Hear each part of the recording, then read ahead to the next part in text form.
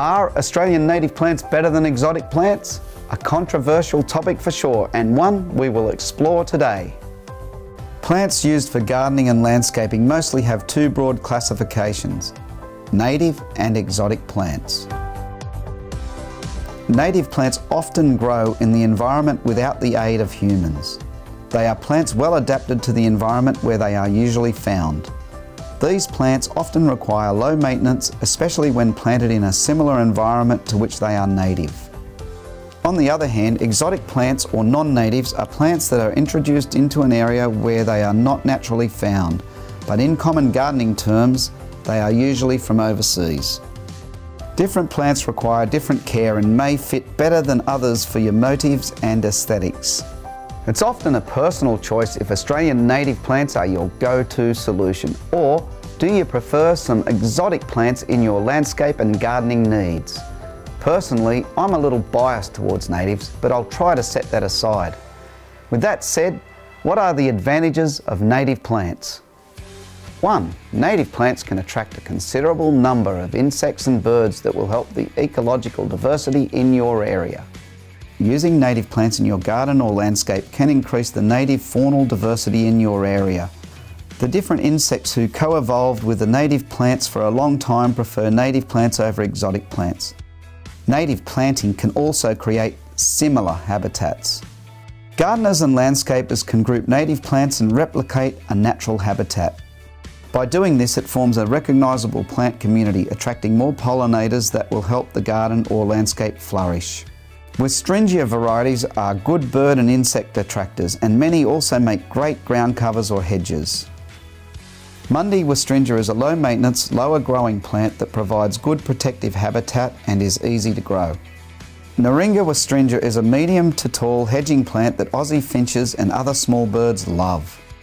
Low Horizon Westringia is a low growing ground cover that is really compact. It is considered to be the lowest maintenance ground cover Westringia. Another bird attracting native plant is coastal pink correa. This plant is a medium coastal shrub that provides an excellent contrast to Mediterranean style landscapes.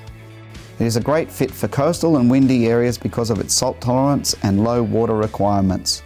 Coastal pink correa has light pink bell-shaped flowers that complement the dark green foliage it provides. Meanwhile, a native plant that attracts pollinators is the callistemon or bottlebrush. Callistemon varieties are shrubs or hedging plants with their flowers attracting many pollinators. Callistemon is well suited to areas that need reliability. Native planting for urban landscaping can be beneficial to restoring the ecology of certain areas. Since most of the developed land is already disturbed by human activities, planting native plants can help a little bit to heal the ecological balance. And callistemons are a great choice. 2. Native plants are already adapted to Australia's environment. Native plants are the perfect fit for the country's climate. They don't need to adapt to the soil, the sunlight, and the amount of water they receive because they are already accustomed to those conditions. For example, Aussie flatbush rhagodia is a widespread native saltbush that provides a good ground cover with its grey-blue foliage. This rhagodia is naturalised in different soil types of Australia and can grow with little to no maintenance both inland and in coastal areas. 3. Native plants are resilient. They require low maintenance since they are already adapted to the environment. After the first year of planting, many native plants can survive on rainfall alone, and if the right plant choice is made, they also cope well with harsh summer heat and Australia's unpredictable climate. Blue Horizon Eremophila is a blue-grey ground cover that is a good choice for a mixed planting in residential areas with Mediterranean-style gardens. Eremophila doesn't usually live on the east coast, however Blue Horizon Eremophila loves the east coast because it is tolerant of drought, dry soils and the humidity of New South Wales. It has been bred to survive in regions outside its normally restricted habitat of Western Australia. This plant has a copper coloured flower that brings a different colour during winter and native birds love it. So this shows a non-local native, but still an Aussie native, can be selected to survive outside its normal environment. 4. Planting Australian native plants can save money compared to planting exotic plants. Native plantings generally pose less financial risk compared to exotic plantings. they often better survive the establishment phase. They regularly require less specific intervention from humans for them to grow healthy. Many native plants thrive with less fertiliser and water and cope well with Australia's excessively and frequently severe La Nina wet or El Nino hot dry season extremes. Aussie natives have evolved to be extreme survivors in a sunburnt country, so why not take advantage of it? Many natives are adaptable, like Shara lomandra, which loves the dry heat, but also has thrived in the five recent floods, staying green throughout. 5. Australian natives are beautiful. Countries overseas love our natives and so should we. The golden flowers of wattles or the striking flowers of kangaroo paws or the evergreen foliage of a lomandra are well sought after in the USA. So why not also embrace our natural beauty?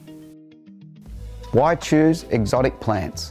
With recent breeding, exotic plants can now be on par with Australian native plants in toughness and adaptability. The argument that exotic plants are invasive is somewhat obsolete as many exotic plant cultivars are developed to be non-invasive. Ozbreed and many other plant breeders offer hardy exotic plants that are non-invasive and an excellent alternative to Australian native plants. Here are some exotic plants' improved characteristics. 1. Exotic plants can cope with the Australian environment just as well as the Australian native plants. Exotic plants can adapt to a new environment with proper care. One example of this is the cosmic white Raphiolepis. This Raphiolepis cultivar is a highly tolerant exotic tough shrub that can live in most soil types.